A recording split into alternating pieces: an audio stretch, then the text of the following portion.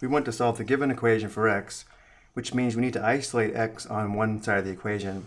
We begin by simplifying both sides of the equation. On the left, the first step is to determine the difference inside the parentheses.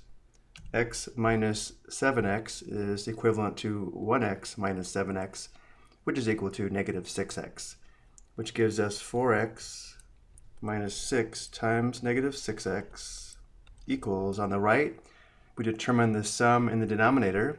16 plus 11 is 27, giving us 8y divided by 27. Still simplifying on the left side, the next step is to multiply. And because we have minus 6 times negative 6x, we can think of this as negative 6 times negative 6x, which is positive 36x, giving us 4x plus 36x. Still simplifying the left side, the next step is to combine like terms. 4x plus 36x is 40x, giving us 40x equals 8y divided by 27. And now normally to solve for x, we would divide both sides by 40, but because we have a fraction on the right, instead of dividing by 40, we'll multiply by the reciprocal, which is 1 40th. So now we multiply both sides of the equation by 1 40th,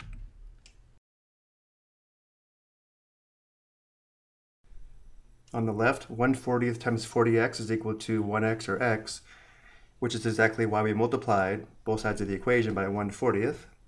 If we want to show the simplification, there's 140 and 40 in the numerator and the denominator, again giving us just x on the left. On the right before multiplying, notice how we have a common factor of 8 between the numerator and denominator. To show this, let's write 40 as 5 times 8, giving us 1 over 5 times 8 times 8y divided by 27. Again, now we have a common factor of 8 between the numerator and denominator that simplifies to 1. And now we multiply. In the numerator, we have 1 times y, which is y. In the denominator, we have 5 times 27, which is equal to 135. x is equal to y divided by 135. I hope you found this helpful.